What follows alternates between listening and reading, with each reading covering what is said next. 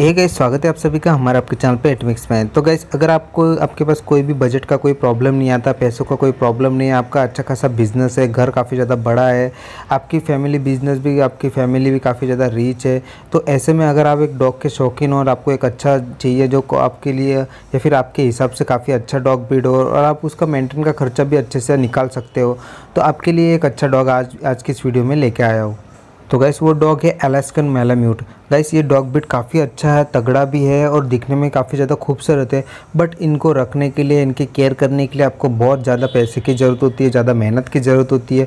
अगर आप एक सच्चे डॉग लवर है, आपको एक ये डॉग बिट के शौकीन है तो फिर आप इन डॉग बिट को रख सकते हो। तो गैस इसी के बारे में इस वीडियो में आपको पूरा बताने वाला हो तो शुरू से लेकर लास्ट तक ज़रूर देखना। अगर आपको वीडियो पसंद आती है मेरी तो प्लीज़ लाइक शेयर करके हमें सपोर्ट ज़रूर से किया करें। और जिन लोगों ने चैनल को सब्सक्राइब नहीं किया तो सब्सक्राइब ज़रूर कीजिएगा। तो चलिए वीडियो को शुरू करते हैं। तो आपको बता दूँ एलेस्कन मेलाम्यूट ये काफ़ी ज़्यादा पुरानी डॉग ब्रीड है। एक हज़ार साल से पुरानी डॉग ब्रीड है। और इनकी ओरिजिन की बात करूँ तो यूनाइटेड स्टेट एलेस्का से इनका ओरिजिन है। और गाइस ये डॉग ब्रीड काफ़ी ज़्यादा खूबसूरत आपको देखने को मिलेगी। इनके फर भी काफ़ी ज़्यादा लॉन्ग है और कलर में भी आपको बहुत सारे कलर देखने को मिलेंगे। और इनके शरीर की बात करूँ तो काफ़ी तगड़े और स्ट्रॉन्ग टाइप के डॉग ब्रीड आपको ये देखने को मिलेंगे। ये खास करके ठंडी जगह पे रहना पसंद करते हैं। अगर आपके यहाँ पे ठंडी जगह है या फिर आप बर्फ़ वाले एरिया में रहते हो या फिर जहाँ पे जहाँ पे काफ़ी ज़्यादा हिल स्टेशन वाले घर होते हैं, काफ़ी ज़्यादा ठंडी होती है वहाँ पे, और वहाँ पे इन डॉग बीट को रहना काफ़ी ज़्यादा पसंद है। अगर आपका वहाँ पर ठंड काफ़ी ज़्यादा बढ़ती रहती है, कभी कम होती है, कभी अप होती है तो ऐसी जगह पर ये डॉग बीट काफ़ी अच्छे से सर्वाइव कर लेते हैं और उनको वहाँ पर रहना भी काफ़ी ज़्यादा पसंद है। और आपको बता दूँ, ये डॉग बिट खाने पीने के मामले में इतना कुछ है नहीं कि अगर आप इसको ज़्यादा खाना पीने दो, क्योंकि ये डॉग बिट थोड़े बहुत आपको आलसी टाइप के देखने को मिलेंगे, सुस्त देखने को मिलेंगे बट ये वर्किंग कैटेगरी के डॉग ब्रीड में आते हैं, इसलिए आपको प्रॉपर तरीके से इसके एक्सरसाइज और डेली एक्सरसाइज और ट्रेनिंग आपको सब की ज़रूरत होती है। अगर आप इस, इनके पीछे कोई एक ऐसा बंदा हो जो इनको अच्छे से ट्रेन करता हो, अच्छे से उनको सुबह शाम वॉकिंग पे ले जाता हो प्रॉपर तरीके से इनकी बॉडी को एनर्जी से भरा हुआ बनाता है तो ये डॉग ब्रीड उनके लिए काफ़ी अच्छा रहेगा, क्योंकि इनके पीछे टाइम भी आपको बहुत कुछ देना पड़ेगा। ऐसा नहीं कि अगर आप घर पे ला देते हो और इसको शो पीस की तरह रख देते हो तो ये डॉग ब्रीड रहेगा। इनमें से बहुत सारे डॉग को आपको, आपके साथ रहने में काफ़ी ज़्यादा प्रॉब्लम आ सकती है, क्योंकि इनकी केयर भी आपको बहुत कुछ करनी पड़ सकती है। तो अगर आप सोच रहे हो कि आपके पास बजट कम है, आपके पास पैसे नहीं तो ये डॉग ब्रीड आपके लिए नहीं है, क्योंकि ये डॉग ब्रीड के ऊपर काफ़ी ज़्यादा खर्चा होता है। बात करें इनकी प्राइस की तो आपको पता होगा इनका जो प्राइस होता है काफ़ी ज़्यादा हाई होता है।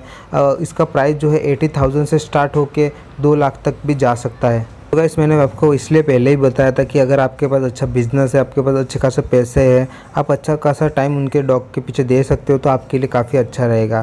क्योंकि काफ़ी ज़्यादा कॉस्टली है और कोई कोई ये रेयर केस में डॉग ब्रीड मिलते हैं। अगर इंडिया में आप सब जगह पूछने जाओगे तो आपको सब जगह ये डॉग ब्रीड नहीं मिलेंगे। कहीं कहीं जगह पर मिलेंगे कहीं कहीं यहाँ पर इनकी डॉग ब्रीड की ब्रीडिंग होती है या फिर इनको इम्पोर्ट भी किया जा सकता है। तो उसका प्राइस भी काफ़ी ज़्यादा अलग आपको देना पड़ सकता है। कलर की बात करें तो ये आपको ब्लैक एंड वाइट में मिलेंगे रेड कलर में मिलेंगे ब्लैक कलर में मिलेंगे ग्रे कलर में मिलेंगे, ऐसे बहुत सारे कलर में आपको देखने को मिलेंगे। इन डॉग ब्रीड की हम लाइफ स्पेन की बात करें तो इनकी लाइफ स्पेन होती है चौदह से लेकर सोलह साल तक होती है। अगर आप अच्छे से केयर करते हो तो इनकी और भी लाइफ स्पेन बढ़ सकती है। इनके खाने के ऊपर भी आपको बहुत कुछ ध्यान देना पड़ता है जैसे जैसे मौसम बदलता है। वैसे वैसे इनकी बॉडी के ऊपर, इनके खाने के ऊपर, इनके डाइट के ऊपर आपको बहुत कुछ ध्यान देना पड़ सकता है। बाकी बात करें तो ये काफ़ी ज़्यादा फैमिली डॉग ब्रीड है, काफ़ी अच्छे से रह लेती है, अच्छे से सर्वाइव कर सकती है। इन डॉग ब्रीड को ज़्यादा बार करना पसंद नहीं है बट काफ़ी ज़्यादा एनर्जी से भरे होते हैं। अगर जैसे आप इन्हें वॉक के लिए ले जाते हो या फिर बाहर घुमाने ले जाते हो, तब ये डॉग ब्रीड काफ़ी ज़्यादा एनर्जी से भरे होते हैं। इनको खेलना काफ़ी ज़्यादा पसंद है। खास करके बाहर जाके बॉल खेलना या फिर मस्ती करना, ये डॉग ब्रीड उनके लिए हमेशा तैयार रहते हैं। और गैस बहुत सारे ऐसे लोग हैं जो इस डॉग ब्रीड को एलास्कन मेलाम्यूट को जो है साइबरियन हस्की के साथ कंपेयर करते हैं। तो मैं बता दूँ, आपको इन डॉग का कंपैरिजन करना बिल्कुल ही गलत फहमी है, क्योंकि वो डॉग ब्रीड पूरी अलग कैटेगरी में आता है और ये डॉग ब्रीड पूरी अलग कैटेगरी में आता है, क्योंकि ये डॉग ब्रीड का साइज़ और उनका रहना पूरा अलग है और साइबरियन हस्की का रहना काफ़ी ज़्यादा अलग होता है। साइबरियन हस्की आराम से जो है अपने अभी सिटी में भी रह लेते हैं बट उनको थोड़ा टेम्परेचर का आपको देखना पड़ता है। बस ये डॉग ब्रीड के पीछे आपको बहुत ज़्यादा ध्यान देना पड़ सकता है।